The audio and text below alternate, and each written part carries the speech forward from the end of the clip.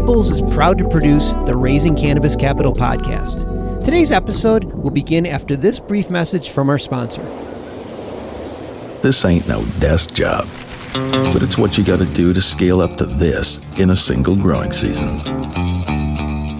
It's how, in Oregon alone, we grew and harvested the single largest crop of CBG in the world.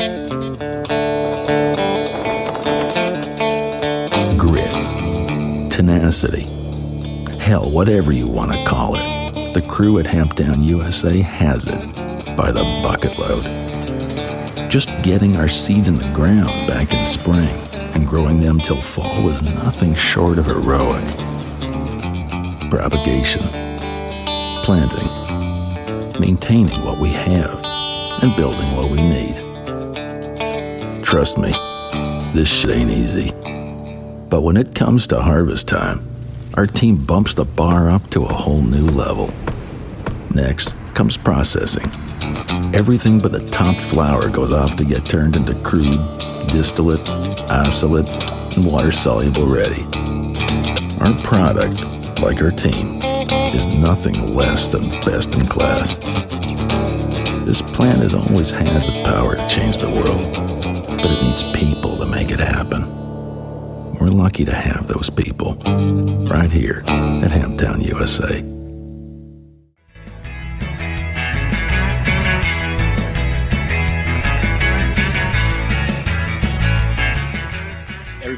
In space looking at the opportunities, saying those markets provide uh, opportunity for expansion and honestly have a great need for the services that we provide. So we're looking towards expanding our geographic footprint, you know, moving into Canada, moving into other spaces in, in the States, and really following through of what we think is the business model that best supports you know, our clients here and our partners that exist in other spaces.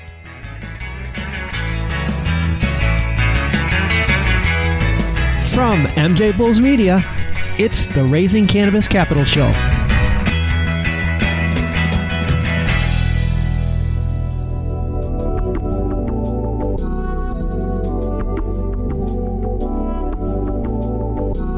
Today in the Raising Cannabis Capital series, we are joined by Jeff Gray, the CEO of SC Labs. Jeff, welcome to the MJ Bulls podcast. Thanks for having me, Dan.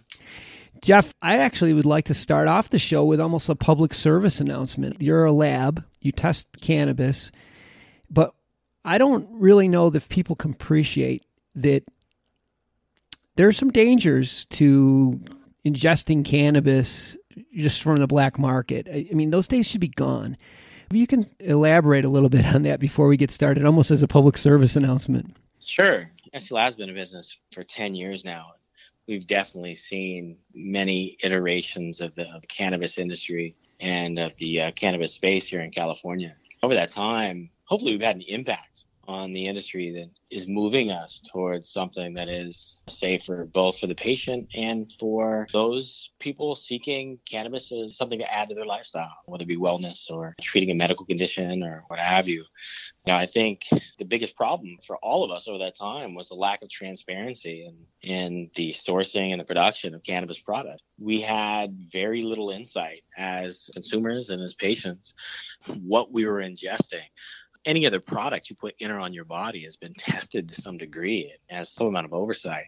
And obviously, because of the regulatory space and the political climate around cannabis, that wasn't something we were afforded. And we've seen an evolution in uh, best practices in the industry. And hopefully, labs like ourselves and others have have had an impact on that, giving patients and consumers some way to have some amount of insight and have some amount of data today cannabis testing labs provide so much more information than just that the products are free of contaminants T- tell us some of the other information that you provide to your clients and to their customers Sure. California Lab, for instance, we're qualifying a product as being free from heavy metals, pesticides, residual solvents, pathogenic species of microbiology.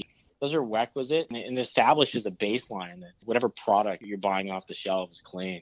But there's this whole other world of cannabis testing that feeds into providing value up and down the supply chain. So you can imagine that some of these products nowadays, uh, the formulations are, are so intricate. We do a lot of R&D testing. We'll do a lot of in-process testing, qualification of inputs to, to basically validating formulations, validating extraction efficiencies. I mean, we're really here to support our clients as partners, providing data that's actionable that leads them to better practices or better products. Sure. And and I know in just reading in your website, it, this isn't a one and done deal. There's a change from harvest to harvest on the same strain of cannabis, which just seems mind-boggling to me. Absolutely. When you, when you think about it, first, cannabis is an incredibly complex product the number of bioavailable chemicals in a cannabis product are significant. I mean, some uh, yet really to be fully understood. And I think when you look at whether it's a cultivator and they're either checking practices or they're continuing to test harvest to harvest for differences between harvest, differences between output, or it's cannabis producers creating infused products, edibles, tinctures, what have you. I think in all of those, I don't think the job of quality assurance is ever done. There's hardly ever just the one and done. We've proven that this is clean or we've proven that this is the dosage. It's the, there's sort of a constant vigilance there within any business to assure that the product meets their standard. We have some clients with making incredible product and their standards are very high, as they should be. Mm-hmm. And there's this back and forth where we're continually feeding them data that allows them to achieve those standards. I want to take a minute to tell you about some really innovative things that our sponsor, Cream of the Crop, is doing in the cannabis space. Their brand is on fire. They have the fifth best selling indoor flower brand in the state, and they're profitable growing their business at 10% a month year to date. They're succeeding by helping cultivators turn profits through operation management and consulting in exchange for supply agreements.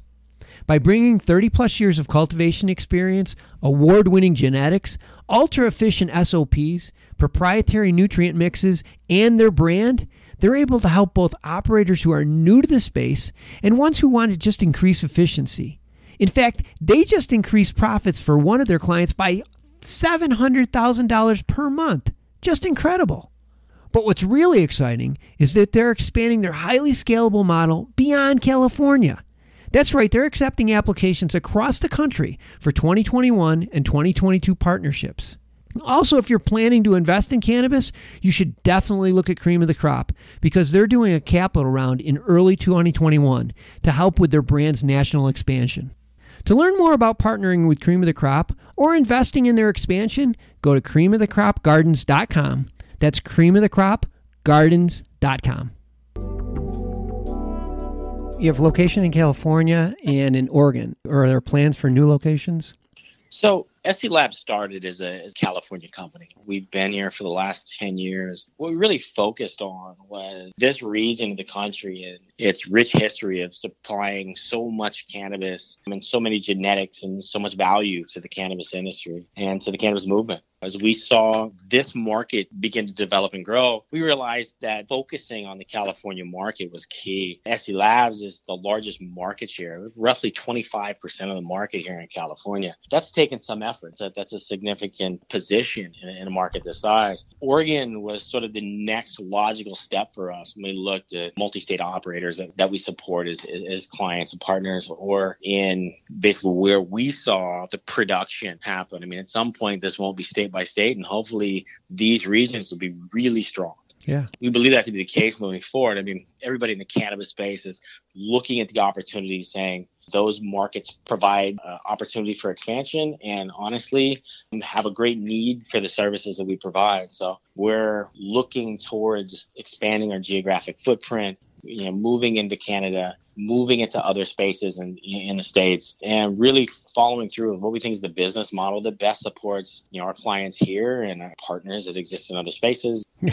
I mean with 10 years experience 25% market share of the largest market in the world it seems only logical that you would expand that and the industry needs you to expand to do that though. It's going to be tr- tricky to do that at a cash flow are you going to be raising any money uh, we'll be doing another raise this year. I, I, look at some of what's happening within the industry. I look at consolidation.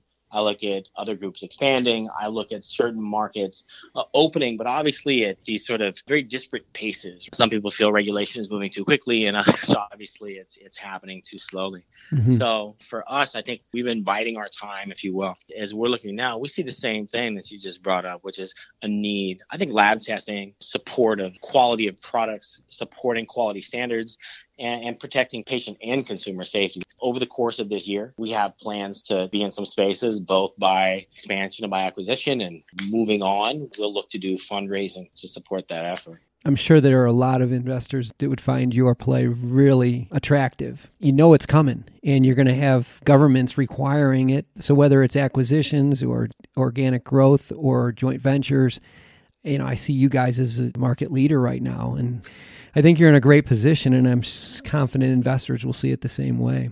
Yeah, no, I appreciate that. It's been a long journey, and I got to say, it's it's been an amazing one. We've watched the industry grow so much and feel like we've participated and contributed to it. These next steps, the business cycles are obviously accelerating, right? I mean, everything is happening so fast now. We're excited to see it. This is an important space to us, so we think that the service we're providing is pro- providing a, a tremendous value. As we move forward, the people that we look to bring in as partners and expanding this vision, really looking for people that see it in very much the same way that we do exciting opportunity for us. And so far, we've been blessed to have some really good partners on board. Well, we've been speaking with Jeff Gray, who is the CEO of SC Labs.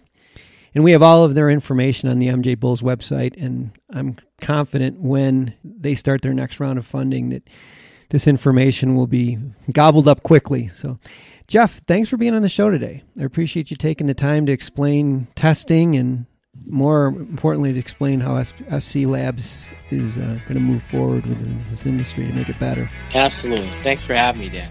Good luck. Thanks for everything you do. Uh, thank you.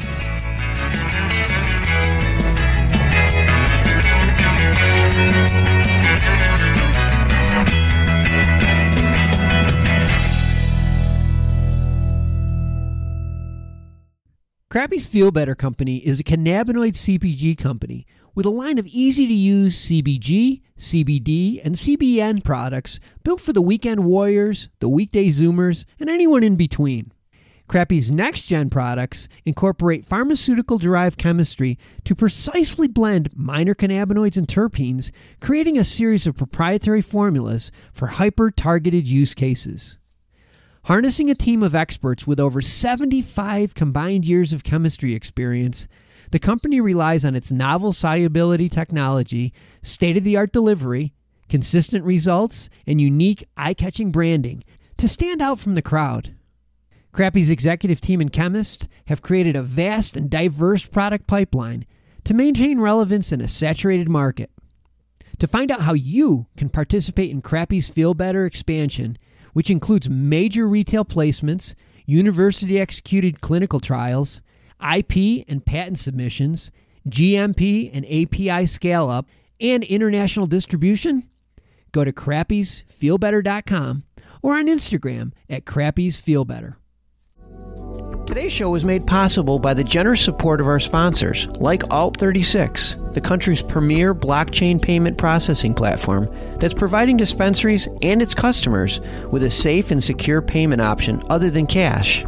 To learn more, go to alt36.com.